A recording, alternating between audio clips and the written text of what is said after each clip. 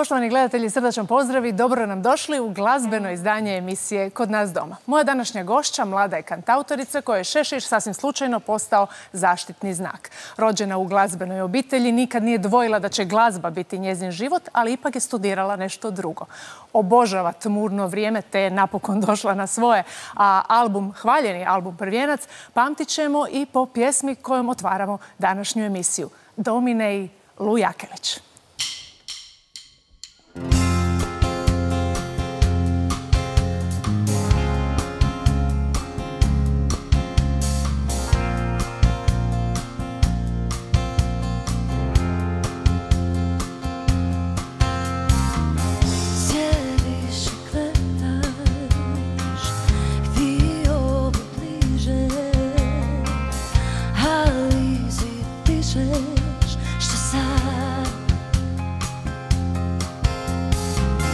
i Lu Jakelić.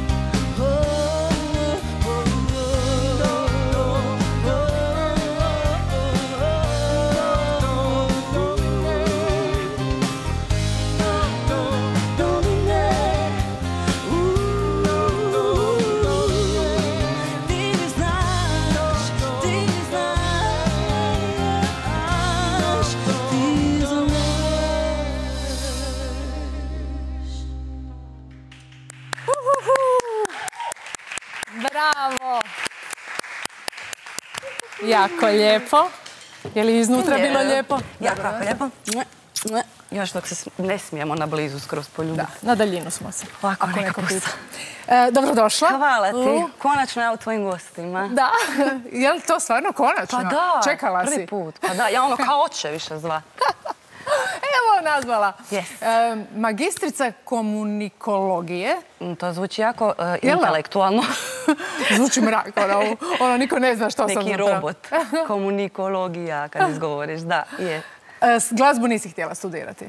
Pa ne, prvenstveno zato što sam bila preljena da vježbam klavir i znala sam zaspat za klavirom i to ću ovako javno odmah da sram maknem.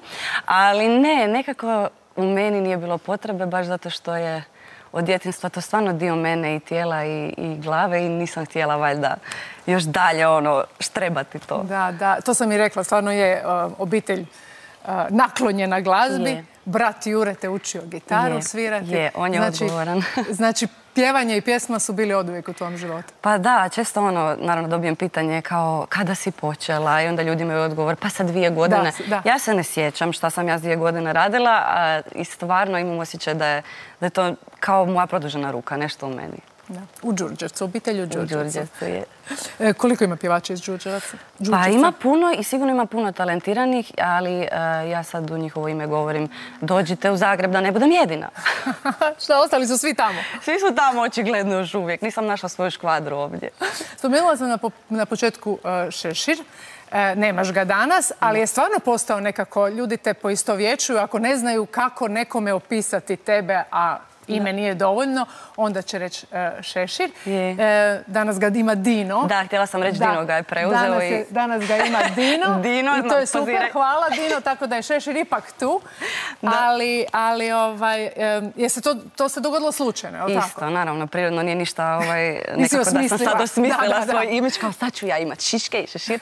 E, sjećam se na možda prva, druga godina faksa, bilo mi jako fora i nekako sam, počela sam ga nositi i na faksi po gradu. I možda prva, druga svirka da sam ga slučajno stavila i, i ljudi ono, a to je kao mala sa šiškama, prvo su šiške. Da, da, I šeširom širom. i šeširem. ši- Pazi, šiške i šešir. Šiške i šešire, ja sam, ovaj, drago mi je slovo še.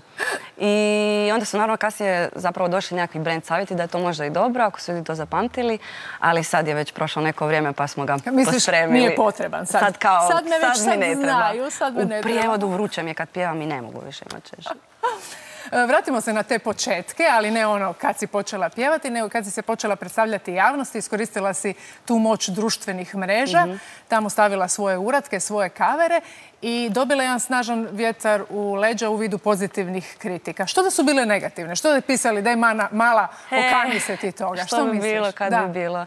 Pa mislim, ima ih sada još više nego što ih je vjerojatno bilo onda, što je normalno čime, ovaj, čim se baviš nečim što, što želiš i što da bereš kao svoje i što ono ponosno iskazuješ, ali da ih je bilo ne bi se, ja mislim, ništa apsolutno promijenilo jer je glazba i strast prema tome uvijek jača što god a, neko kaže i tako to treba i biti. Znači ne bi bilo. Ali dobro dobro je došlo da su bili tako pozitivni i ohrabrujući. Naravno, naravno, to je zapravo bilo i čudno s obzirom da sad kad, kad je to tek krenulo YouTube nije bila tako velika platforma i mene je iznenadilo također ništa neplanirano, sad ću ja deset kavera i vidjet ćemo kako to prođe. Meni je to bilo fora, ono zadnja, ona loša kamera, još nisu bili ni iPhone tu.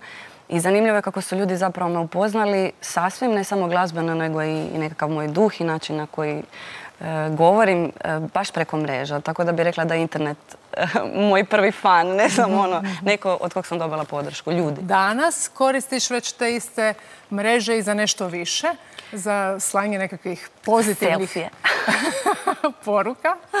Pa ja se nadam. E, ne znam, imam osjećaj kao da se ponavljam, ali to zaista nije nešto što ja e, smišljam i planiram. Naravno da pazim kako se izražavam i, i, i koje vrijednosti želim e, prikazivati na svom profilu, ali Instagram je, sada, sada je tu već 14 tisuća ljudi, ja si to uopće ne mogu zamisliti i ne gledam toliko na te brojke, ali imam odgovornost, ne samo glazbenu, i volim što mogu tako izravno komunicirati sa, sa ljudima.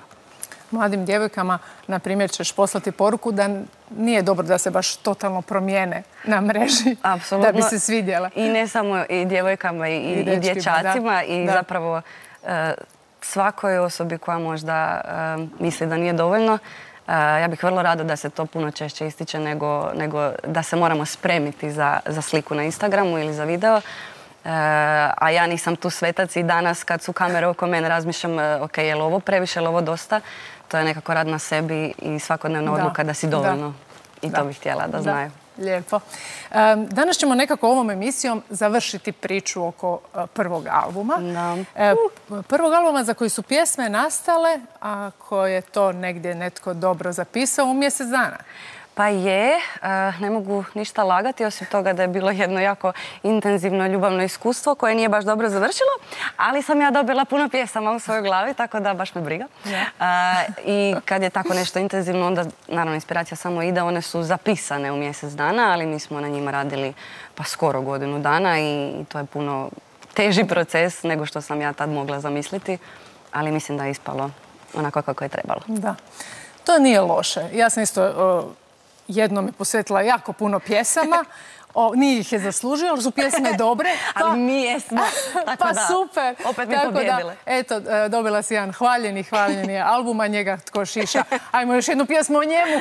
Šta ćemo drugo? Ne znam je o njemu, čekaj da se sjetim. Nije, ova nije o njemu. Ova nije o njemu. Odlično, odlično. Jedna koja nije o njemu. Lu Jakelić.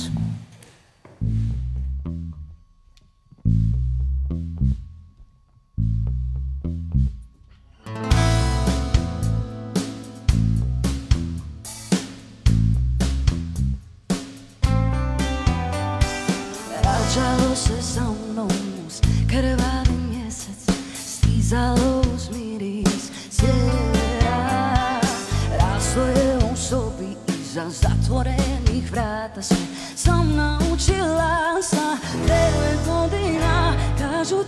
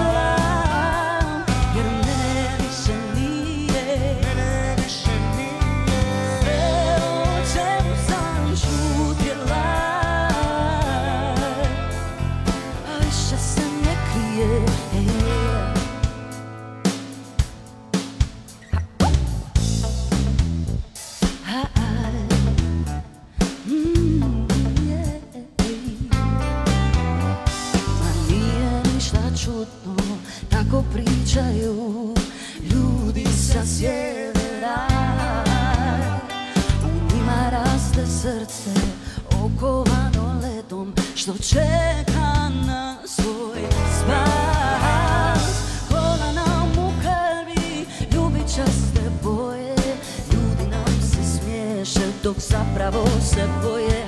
U kolibama rasli, šuteć po sve glasni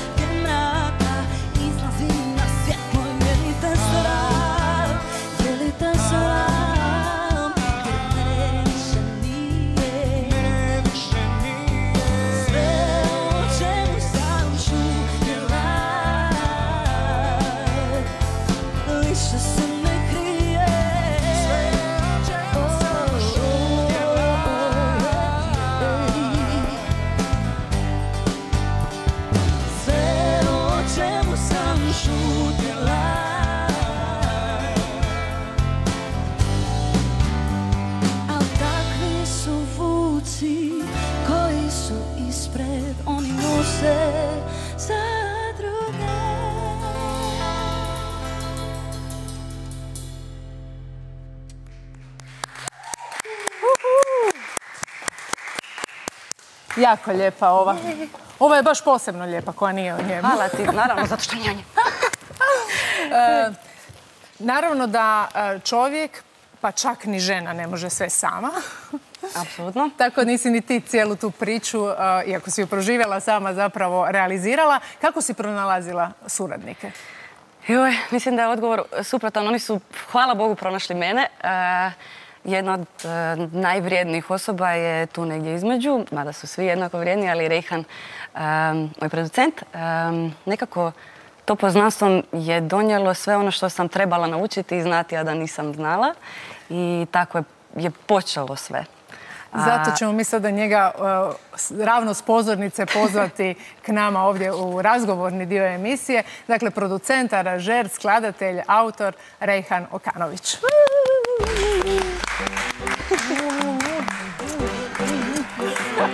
Mi se već previše izljubili u ovom životu. Izvoli. Dobro nam došao i na ovu hvala ti. stranu. Kako je tamo? Još Pa tamo nisam bila. priznat, čak bolje, ali nema veze, to s- mislim biti u društvu tako Nego divnih. ti je ljepše Da, svirati, ljepše, a ne ugodnije pričati. svirati nego pričati, to je Kako ste se upoznali? Kako si ju našao? E, Našao. Da, da sam bar imao malo pripremljeno neko pitanje. Nemoj A ja lagat, mislim reci da- ju sve. Da, Ono da lažem ili nisam, Aha. ne, nemoj lagat. A ovoga, pa mislim klasično, klasično, vidiš nekoga na društvenim mrežama, na YouTube-u i Mhm. kažeš si ono, gle, ovo mi je super. Znači to je vrlo onak iskreno.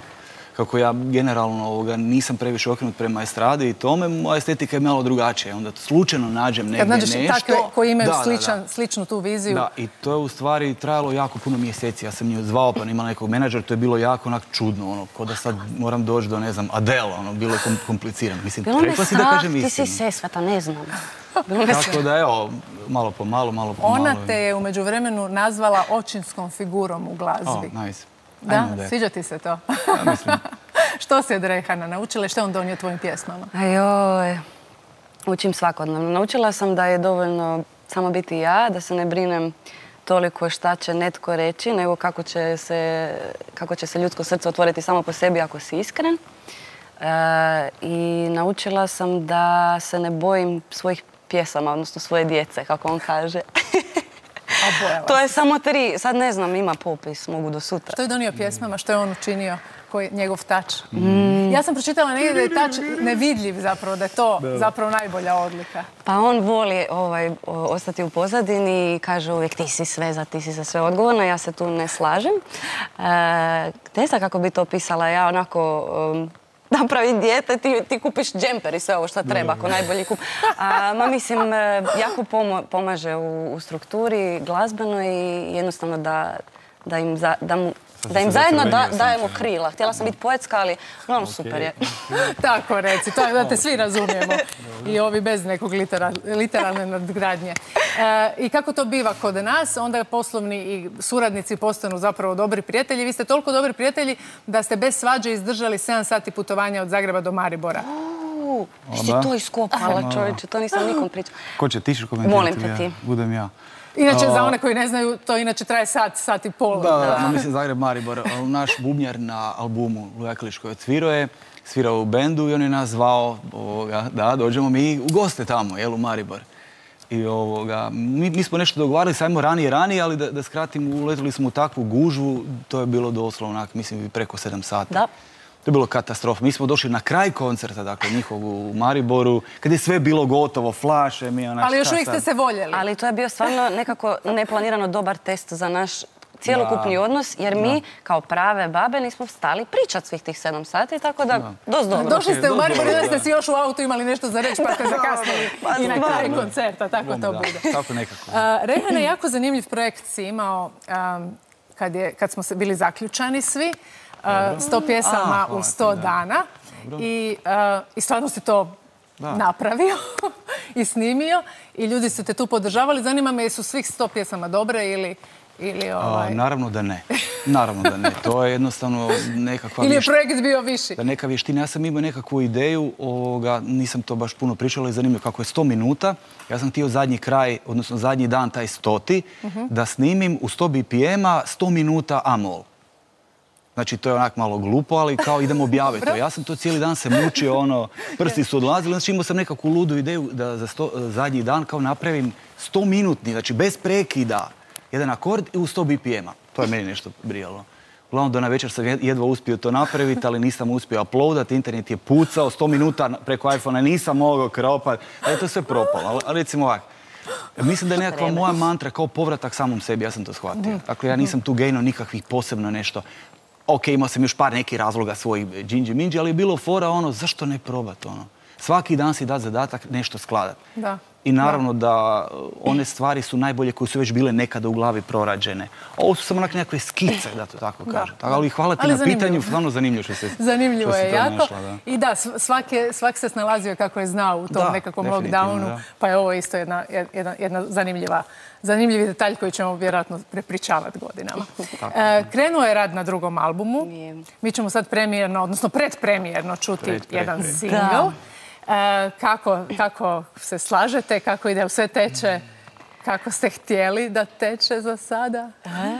Kako odgovoriti na to pitanje? Nikad ne znaš kako će teći, pa i kad krivo teče ti nisi svjestan da nešto... Da, zapravo dobro teče, jer možda Da, dobro teče. Uvijek svemu, nađ- barem nas dvoje, nađemo svemu ovaj svoje zašto. E, A u kojoj ste fazi? Je li to pri, pre, E sad moram paziti šta kažem jer Da, će znam. sve mi moji ovi zapamtiti na mrežama. Da. E, ok, mi smo zapravo završili jer smo radili cijelu, cijeli godin, cijelu ovu godinu od početka.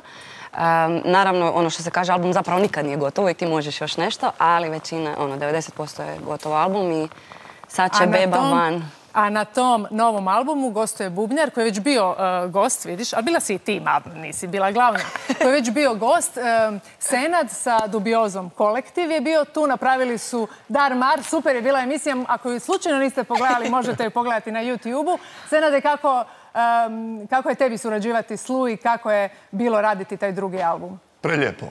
još. Ukratko da kažem, super. Super, totalno druga energija od uh, dubioze i super mi je nekako naći se i u tim vodama. To ti dobro dođe za ravnotežu. Da, da, da, da. Ajmo se svi staviti sada u ravnotežu i predpremjerno čuti uživo u emisiji kod nas doma novi singl Bljediš. Izvolite!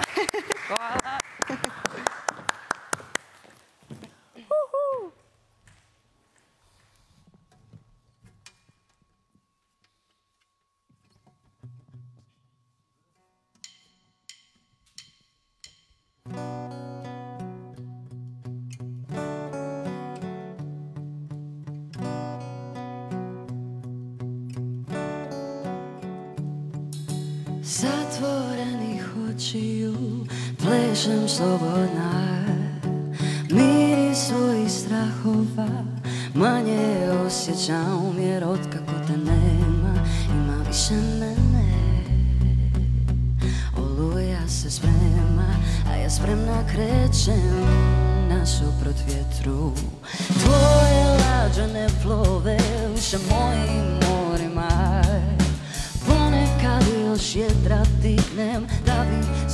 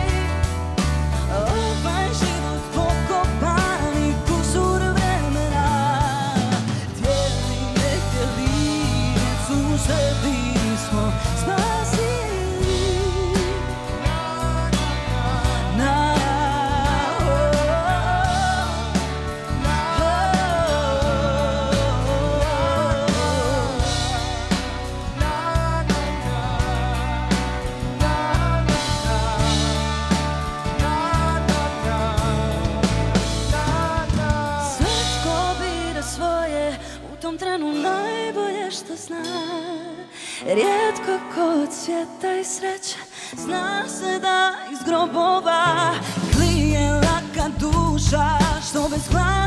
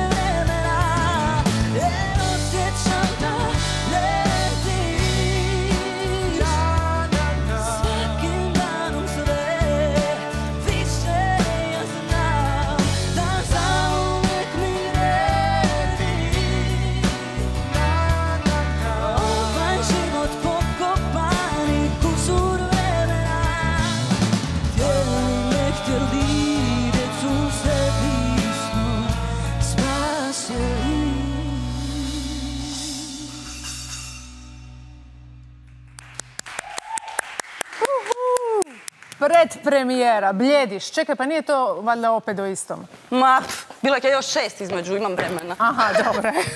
Mislim se, znaš, sad da je prešao i na nije. drugi album, isti lik. Nije, nije, svašta je bilo između puno života, nekog u kratko vrijeme. Ajde, baš lijepo. I već je stigao neki izbljediti u međuvremenu. Odlično. Lu, samo tako naprijed. Hvala ti, E. Mediji su e, puni e, jedne nove ljubavne priče, a mi ćemo o jednoj staroj zato u današnjoj emisiji, ali za to mi trebamo i sljedeći gost. On je e, rock pjevač, multiinstrumentalist, skladatelj, autor i odnedavno član Whitesnake-a. Dino Jelusić. Dino! Ja odmah sjest. Malo mi brecnulo kad si spomenula staru ljubav, ali Dobro. dobro. Da, da, da, ne, ne, mi ćemo sad odmah, neću ja nikakav vajc neki to, to ćemo malo ostaviti za kasnije. Idemo mi prije o tome kad ste vas dvoje bili skupa i zašto si ostavio preko telefona. Znači, ja ne vjerujem šta se... To, ovaj, Što? ko ti je platio, odnosno, ne, kom si platila i ko ti je rekao? E, Dino, Lucija, ti, ti, ti se kopa iz ovog, ja ne, nemam... ti si sad gost, ti si sad došla, ja sam pričala, do sad možeš ti. Ne, bili ste mi smo si simpatije, jel tako? Bili smo si simpatije tamo prije skoro deset godina. Se stari smo jako. Da, a znamo se od 2004. ja mislim. Vidiš kako pamti. Kako Da. ste se upoznali? U Importane, e, miješ, miješam, jel to gal- centar je kod kolodvora, Ti se baš sjećaš detalja. Galerija, Ne. da, ja sam pjevo i onda je ona došla, bila je član mog fan kluba. Ja sam... I došla je, došla, ok, aj, izvuci se iz ovog također. ja ću preuzeti e, kao žena. E, ne, lažeš. Upoznali smo se, naravno, nakon Din, Dinine pobjede na Eurosongu i ti si stigao u Đurđevac, ako si zaboravio. E, da, bio je dječji festival i naravno, kao i svaka druga djevojčica tada u Hrvatskoj i u svakoj državi, ja sam bila oduševljena i fan. E, šalu na stranu, zbog tebe sam i napisala svoju prvu pjesmu, ne do Bog da ju čuješ. E, i, i na- Ja ju sad želim čut. Dobar influencer. Nije, baš, baš sliči na, na tvoju, gotovo daj, je daj samo malo. Ne Kako se sjećam zove? Ne sjećam se, vjerojatno ono, ti si moja druga ljubav jer sam bila jako kreativna, ne, nemam pojma, dobro, nemam pojma. Ali nakon toga stvarno od tad se družimo, čak smo se dopisivali preko maila, još nije bilo da, da, ovih svih modernih tehnologija. Čak nisam siguran da sam to bio ja, imao sam čak jedno vrijeme ženu mi Ne, isto nije odgovarala. već si mi slomio srce, ne moraš mi sad priznat da to nisi bio ti. prosti, prosti. Bože. E, da, uglavnom imamo prošlost, ali u svoj toj prošlosti se jako volimo i podržavamo. Da. Bez obzira na djetinju Ja se moram. Luci zahvaliti što, je, što danas ima svoju emisiju. Spasila me da me Uršula to napiše uvijek. 15. put iz svog života. Ti ćeš drugi Da, termin. tako da ja ću Pusti neki drugi meni. termin uzeti sebi. Da, da, Dino, trebao si doći, ali doći ćeš neki drugi put, jer si sada već jubilarni peti put, ja mislim, gost nekome, da. Ali dobro, i to mi odgovara, nisi loš ni kao dodatni. Ti gost. možeš biti vječno Ja mislim da gost. jesi peti. Šta će ti više u si? Pusti nama. Kindle i A dobro, onda četvrti. Ili Čet- ne. Dobro, nećemo sad, ne možemo ju gubiti. Meni je prvi put, tak ćemo se izvući. Tebi je prvi put. da. Meni si prvi put gošća. E, Dino, što se događa? E, Znači, nakon nesretnog lockdowna, otvorilo se sve i tvoj je Instagram živnuo, putuješ ko lud, sviraš sa ne znam s, Da. s kim sve ne, pa daj malo nam rezimiraj što se trenutačno događa u tvom životu. Pa, događa se svašta lijepog i ružnog, uh, ali da, lockdown je zapravo bila meni dobra stvar, moram priznat. Jer uh, koliko se loših stvari dogodilo, shvatio sam da zapravo svi su na društvenim mrežama i da je vrijeme da se lockdown iskoristi nekak normalno. I započeo sam te nekakve sessione, džemove, uh, manje kavera, više nešto da se radi kreativno, da bude nešto autorski. I povezao se s ljudima izvana i kada je lockdown sad lagano nek- već završava i počeo su dolaziti pozivi, i zapravo Vajsnik je ta- na taj način je došao, jer um, gitarist Vajsnika koji sam svirao Transsiberian Orkestar nije znao da ja, osim što pijam i sviram, pokazao me Coverdale, ovaj se oduševio i tako sam dobio to, uz još puno drugih poziva. Tako da mislim da je lockdown bio svima nam dobar da malo radimo psihički na sebi, više, Da. na više na sebi. Dosta si po vani sada svirao, gdje si sve bio? Sad sam imao turneju u Španjolskoj, Francuskoj, Švicarskoj i S kojim Bugarskoj. bendom? Da. S da. kojim bendom? E, još neću to nazvat bendom jer sam u nekim procesima legalnim pa ćemo to zadržati za sebe. Ali sa svojim bendom. Sa svojim, Hrvatskim, da. dobro. Ovaj, sad imam za tjedan dana Njemačku, e, Belgiju i Nizozemsku. Onda se vraćam, onda je tjedan projekt Rock the Opera i onda ide Transsiberian Orkestra. I onda im sljedeće godine, uopće ne znam Na šta će mi život ličiti? Kako onda da te ovaj, ovaj mladi čovjek ne inspirira? Ali sad stvarno, e, zezanciju na stranu, istina je, mislim, Sweet. jedini, da sad ne uvrijedim nikog od, od mlađih kolega, ali naravno ćeš da, naravno da su svi vjerovali u, u Dina od kad si se pojavio s onim namigivanjem u kameru na Euroviziji, ali to je nešto... žmirkanje misliš? Žmirkanje, da. Onaj mali Nešto mu je upalo u oko, a svi misle da je to. Nešto je upalo okolo svake dvije sekunde. Ne, to si namignuo za svaki put, za svaku obožavateljicu. Znaš koliko ih je bilo.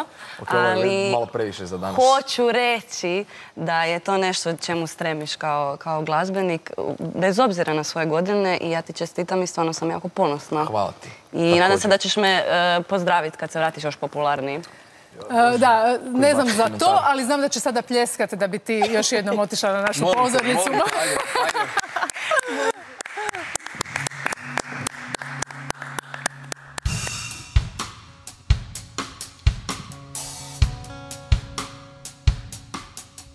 Ja primijetim da sve sam nešto Da isti si isprike ti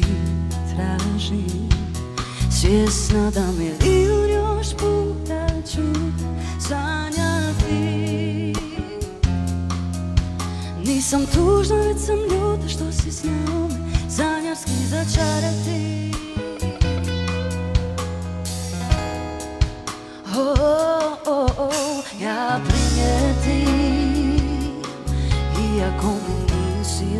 u vidokrugu Ja te osjetim još. Iako stavljaš nešto svoje u drugu Svjesna da milijun još puta ću te pitati. Koliko duša a tijelo podnosi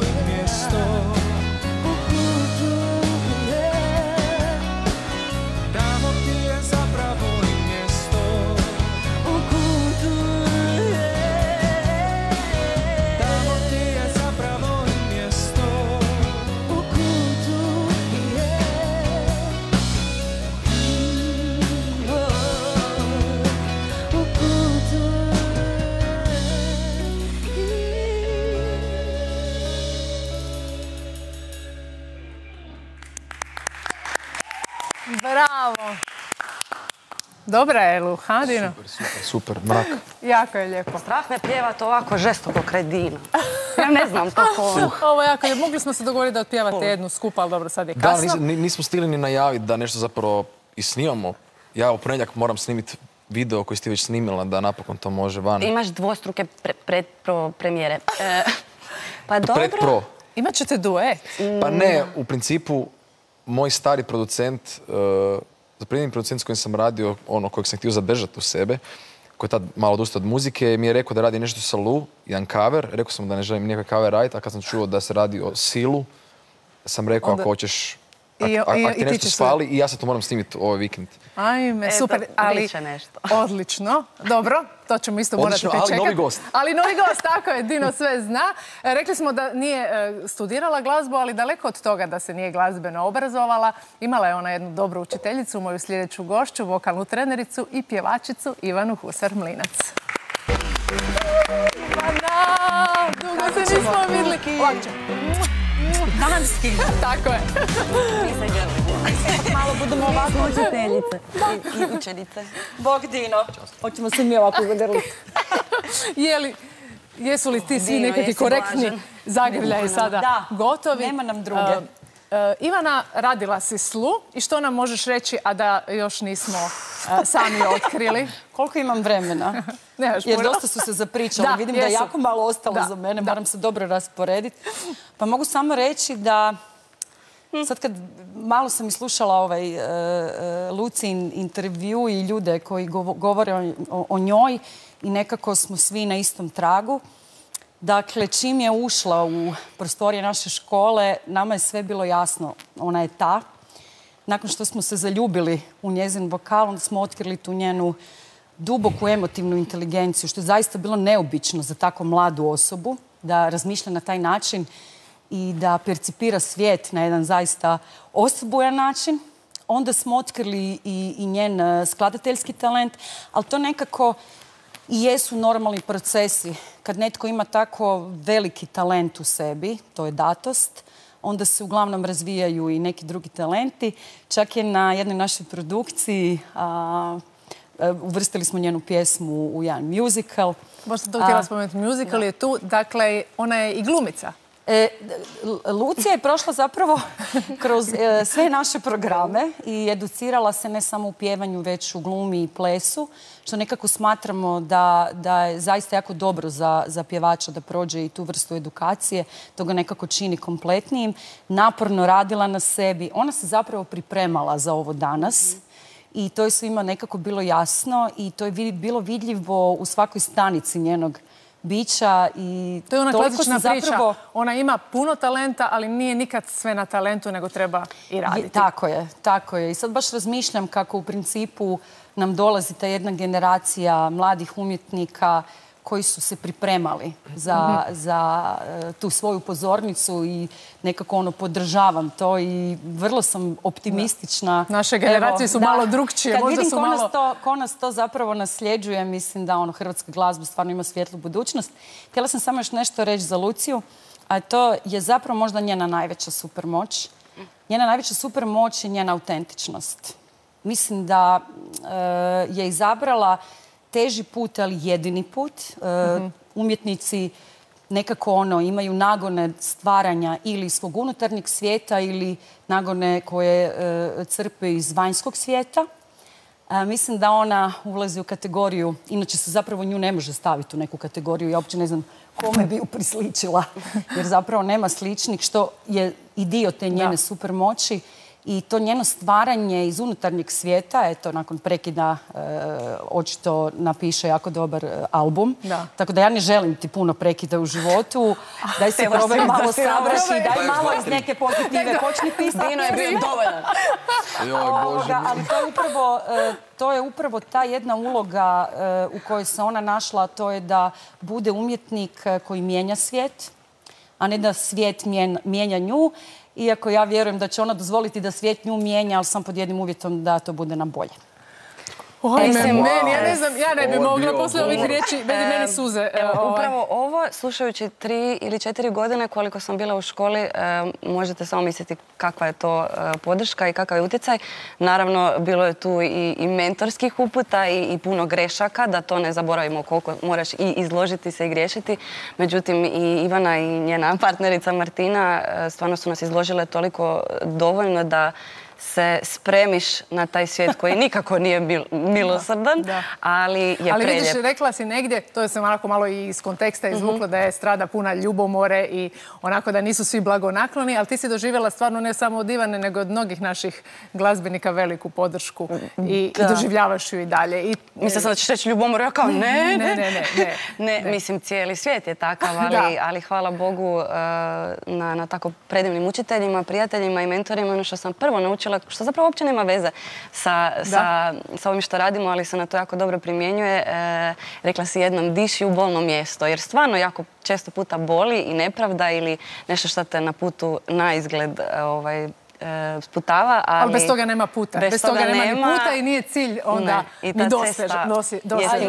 Da, u konačnici ta otpornost koja e, se stekne jer se uz edukaciju e, i, i školovanje stiče i ta jedna svojevrsna otpornost koja je jako Ne- je neophodna. bitna, neophodna i nužna. Ajde ti nama otporna. Tako Kreni je. prema pozornici, a ja ću svoju glumu, evo ni, samo da stigne mi to reći. Za sada, za možemo te doživljavati u sinhronizaciji crtića. E, puno vam hvala, dragi gosti, što ste bili dio e- ove emisije. E, hvala Lu, hvala bendu, hvala naravno i vama, poštovani gledatelji. Sljedeći tjedan s nama je Zdenka Kovačičeka. Gledajte emisiju kod nas doma od ponedjeljka do petka. Srdačan pozdrav.